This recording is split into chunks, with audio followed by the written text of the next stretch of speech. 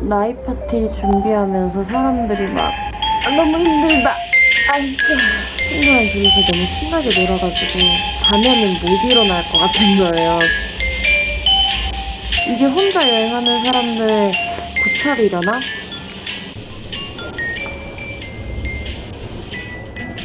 이거는 호치민에 있을 때 더 아이사이공이라는 에코백 쇼룸 에 갔다가 산 건데 요즘에 에코백 너무 잘 돌고 있어가지고 하나 샀어요.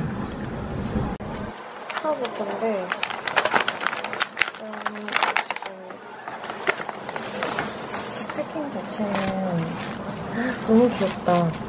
나 이거 지금 처음 뜯어봐서 좀 몰랐는데 되게 귀엽다. 예쁘다. 뭔가 이렇게 조금 무심한데 챙겨주는 것 같은 패키지 뜯기가 싫은데 어떡하지? 일단은 그래도 한번 풀어볼게요. 살살 예쁘게 떼가지고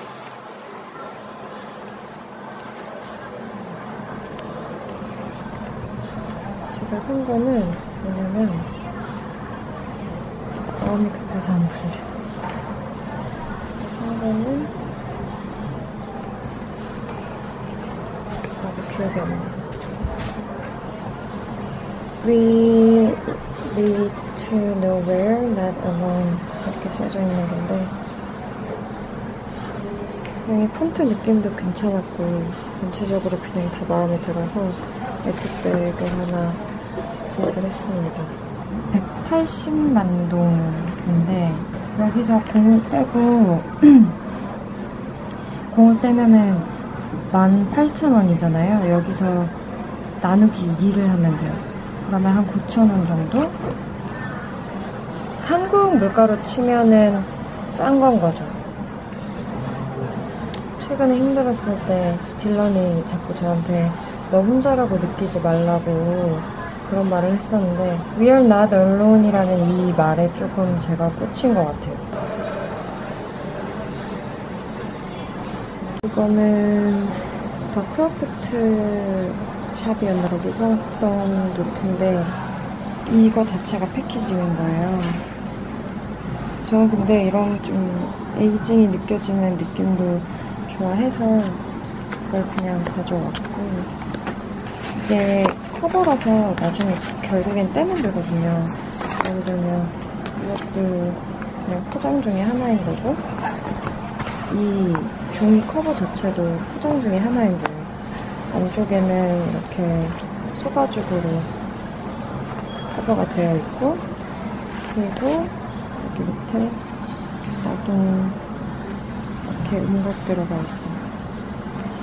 사실 저 글씨체는 별로 안 좋아하지만 이거는 속지 중에 여기 이렇게 고무밴드가 돼 있는 부분을 끼워가지고 이제 내가 원하는 숙제를 채워 넣을 수 있는 시스템인데 어렸을 때 다이어리 생각이 나더라고요.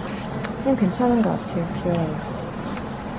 그리고 이제 기본적인 세팅은 이런 이제 오는 패턴이 들어가 있는 퍼펙트 그리드 숙제 그다음에는 이렇게 도트가 아주 균일하게 찍혀져 있는 이제 도트 그리드 그리고 이거는 아까 전에 이 앞부분에 제가 뜯은 건데 원래는 사은품처럼 붙어 있었던 거였어요. 앞에는 무지 여기에는 항상 저를 응원해주는 언니가 선물해준 무지의 샤프가 있고요. 이렇게 되어 있어요.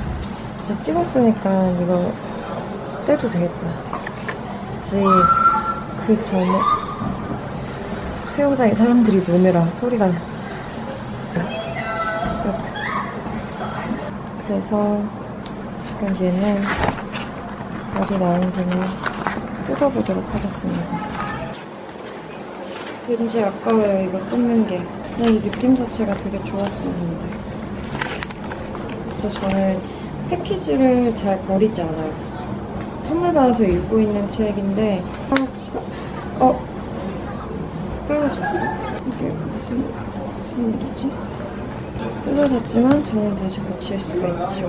그래서 여튼 나카오카 겐메이의 디자이너 생각이를 걷다라는 책이 있는데 거기서 그 얘기를 하더라고요. 가장 고심해서 만들었지만 가장 손쉽게 고객에게 버려지는 게 패키지라고. 그래서 저는 패키지를 잘 안 버려요. 이 안에 있는 1층 레스토랑에 가서 밥 먹으면서 블로그에 조금 정리하려고 해요. 오늘은 어디 안 나가고 여도 풀고 하려고 합니다. 일단 저는 내려가 보도록 할게요.